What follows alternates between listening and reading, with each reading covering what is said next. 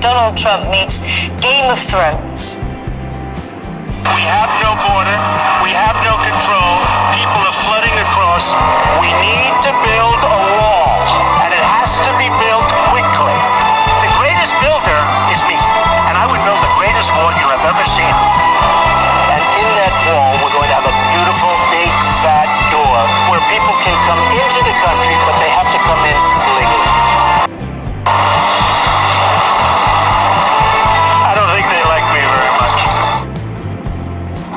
This is just part of Winter is Trumping, an edited mashup of Donald Trump's speeches with his head superimposed onto one of the characters from Game of Thrones.